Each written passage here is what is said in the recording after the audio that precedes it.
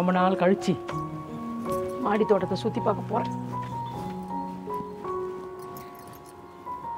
செடிங்கெல்லாம் எப்படி இருக்கு அப்படின்னு பார்க்கலாம்.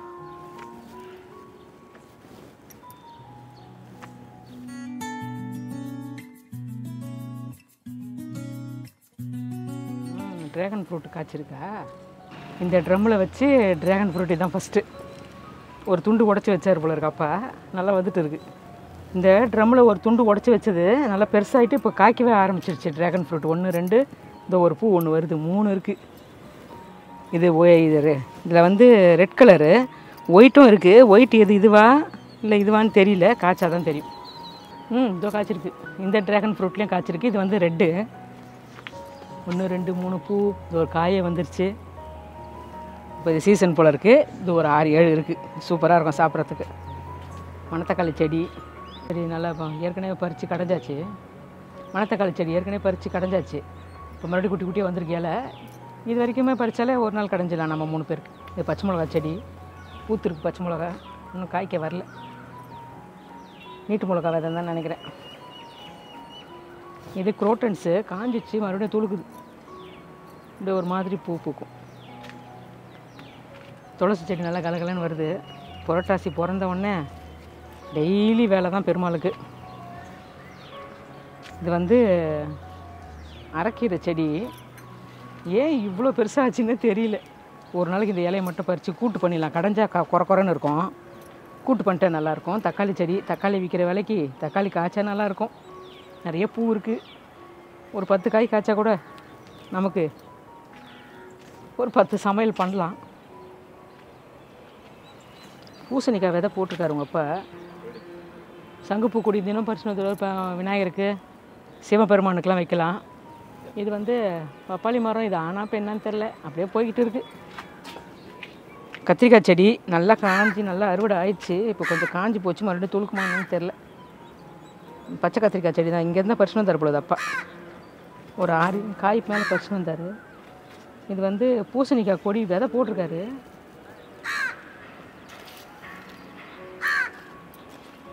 என்னமோ பூசணிக்காய் விதை என்ன விதைன்னு தெரில இந்த குண்டு பூசணிக்காய்ன்னு நினைக்கிறேன். இந்த வரி வரியாக இருக்குமா மஞ்சள் பூசணிக்காய். அதுன்னு நினைக்கிறேன் ஒரு குட்டியாக இருக்குது காய் வந்துருக்கு. பார்ப்போம் அந்த வெயிலுக்கு வருதான்னு. இதா குட்டி காய் வருது.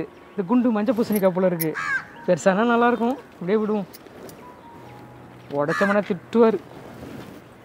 இந்த பூசணி கொடி மேலே ஏறி இருக்கு. பூ பூத்துருக்கு ஒன்று ரெண்டு. காய் காய்க்குமா என்னன்னு தெரில காஞ்சி போயிடுமோ. வெயில் அவள் அடிக்குது. செம்ம வெயில் அடிக்குது. இதுவும் அதே மாதிரி பப்பாளி மரம் ஒன்று காஞ்சி பட்டு போயிடுச்சு.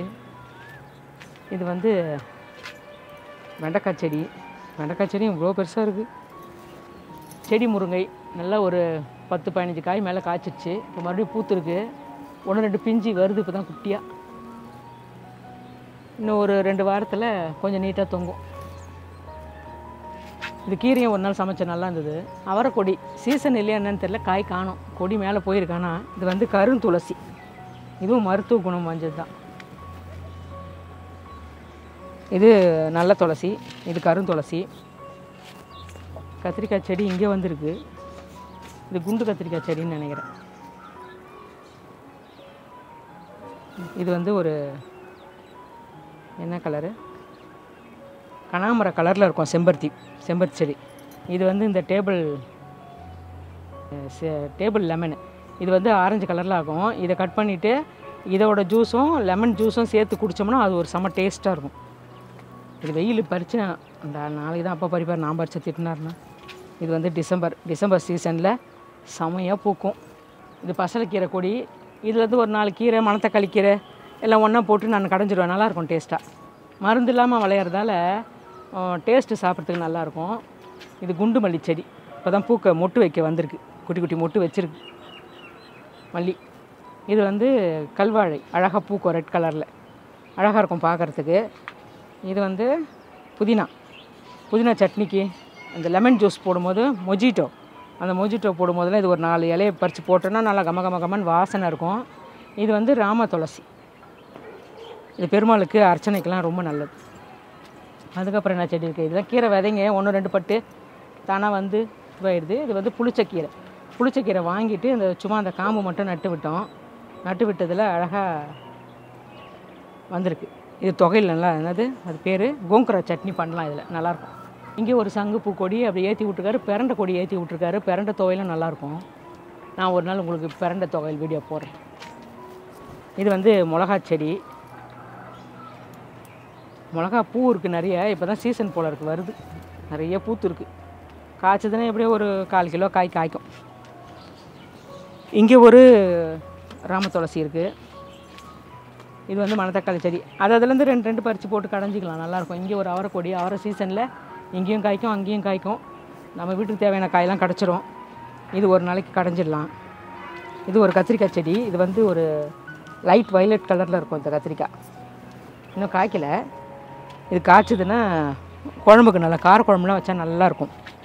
இது வந்து பன்னீர் ரோஸ் செடி இது மாதுளை செடி மாதுளை நிறைய பூத்துருக்கு. மாதுளை பூவே பாருங்கள் எவ்வளோ அழகாக இருக்குது நிறைய மொட்டு இருக்குது இதோ இங்கே ரெண்டு பூ இருக்குது இங்கே இதோ ஒரு மொட்டு இருக்குது காய்ச்சதுன்னா ஒரு ஆறு ஏழு காய்க்கும். பன்னீர் ரோஸ் மொட்டு வச்சுருக்கு. இந்த ஒரு மூணு மொட்டு இருக்குது இங்கேயும் குட்டி குட்டி மொட்டுங்க இருக்குது இங்கேயும் மொட்டுங்க இருக்குது இது வந்து என்ன ஃப்ரூட் இது பேர்? Water apple. வாட்டர் ஆப்பிள் மரம். ஒரு முன்ன வாங்கி வந்தப்போ ஒரு மூணு நாலு காய் காய்ச்சுது. இன்னும் பூ எதுவும் காணும். ட்ரிம் பண்ணி வச்சுருக்காரு. பூ துளுக்கோன்னு நினைக்கிறேன். இது வந்து பெங்களூர் ரோஸ். சிகப்பு கலர். இதெல்லாம் துளுத்துட்டு வருது. இது வந்து டேபிள் ரோஸ் மாதிரி இருக்கும். இங்கே ஒரு மணத்தக்காளி செடி நல்லா பெருசாக இருக்குது மாடிக்கு வந்தோம்னா அப்படியே ஒரு கிண்ணத்தை கொண்டு வந்து கொஞ்சம் கொஞ்சம் பறிச்சிக்கலாம். இது வந்து குட்டி லெமன் ட்ரீ. இந்த லெமனும் நல்லாயிருக்கும் காய்ச்சதுன்னா. இது என்ன ஃப்ரூட்டுன்னு தெரியல. எங்கள் ஹஸ்பண்ட் தான் கேட்கணும். இது என்ன இது ஏதோ ஃப்ரூட்டு மரம் தான் நினைக்கிறேன். ஞாபகம் வரல. இல்லைன்னா எங்கள் பெரிய பொண்ணு வந்து அதுக்கு நல்லா தெரியும். இந்த செடிமா அந்த செடிமான்னு சொல்லுவா. வெண்டைக்காய் வந்து விதைக்கு விட்டுருக்காரு. நல்லா காஞ்சி முத்தி இருக்குது இதுலேருந்து போட்டோம்னாலும் நமக்கு நிறைய செடி வரும். இதே மாதிரி அரைக்கிற செடி தான் இதுவும். முளைக்கிற எந்த தண்டு செய்யலாம். இது அரைக்கிற தண்டு அவ்வளோ நல்லா இருக்காது கசக்கும். செய்ய முடியாது. இது ஒரு வெண்டைக்காய் செடி.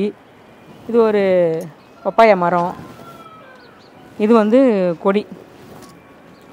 பப்பாயா மரம்லாம் சும்மா அழகு தான் இருக்கு போல இது பெருசாகுமா என்னன்னு தெரியல.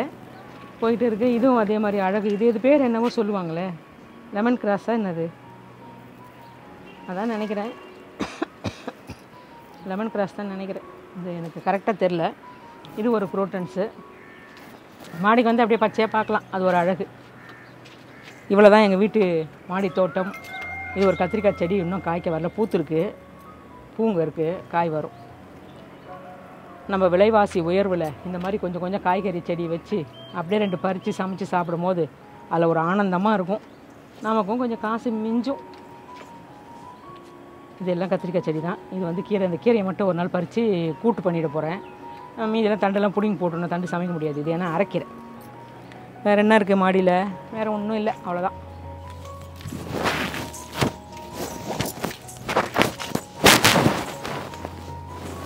பென்ஷன் எப்படி உடம்பு வெயிட் தானே அதை உடச்சிக்கிச்சா? அதை நிமித்தி வச்சு ஏதாவது நிமித்தலைன்னா அப்படியே படுத்துக்கும். அது எதனா செய்யணும். இதெல்லாம் தக்காளி விதை போட்டுக்காரா என்ன ப மிளகா விதையா நல்லா வச்சுருக்காரு. ஓ தக்காளி விதை தான் மிளகா விதையும் தக்காளி விதையும் ரெண்டும் முளைச்சிருக்கு. இவ்வளவும் செடியாகி காய்ச்சதுன்னா வச்சுக்கோ. தக்காளி போனக்காரா இல்லாமல். எல்லா விதையும் முளைச்சிருக்கு. விரண்டை ஒன்று சின்னதாக நட்டதோ அது இன்னும் சரசரம் போகுது.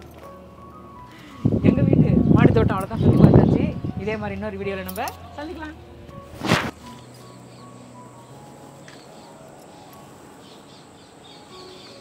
நம்ம மரத்து பலாமரம் எப்போ காய்க்கணும் எட்டி எட்டி பார்க்குறேன் நல்லா பெருசாக இருக்குது காய் ஒன்று ஒன்று இவ்வளோ பெருசு காய்க்கும். பலாமரம் அழகாக இருக்குல்ல பார்க்குறதுக்கே பச்சை பசேல்னு. ஆனால் பெருக்க தான் கஷ்டம். இந்த பழுத்த இலைலாம் கொட்டும். இந்த இலை இதோ இருக்குது நாளைக்கு காலைல கொட்டுற இலை இதெல்லாம். இந்த பக்கம் அம்மாலே இருக்கா வேப்ப மரமே இருக்குது வேம்பு. வேப்ப மரம். வெள்ளிக்கிழமையான இந்த வாசலில் இதை உடச்சி கட்டினா எனக்கு அவ்வளோ ஒரு ஆனந்தம். காய் காய்ச்சிருக்கு. அவ்வளவும் எனர்ஜி இது என்ன தெரியுமா? அரைநெல்லிக்காய். இன்னும் சீசன் இல்லைன்னு நினைக்கிறேன். காய்க்கல. இல்லைன்னா நல்லா கொத்து கொத்து கொத்தாக காய்ச்சிருக்கும்.